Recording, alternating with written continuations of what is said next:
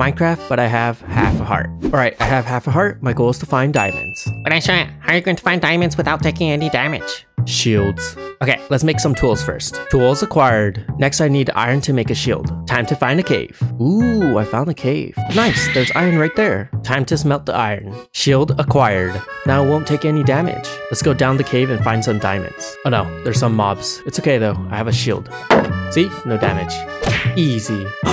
diamonds down there. Hmm, how am I going to get down from here? Hmm. Oh,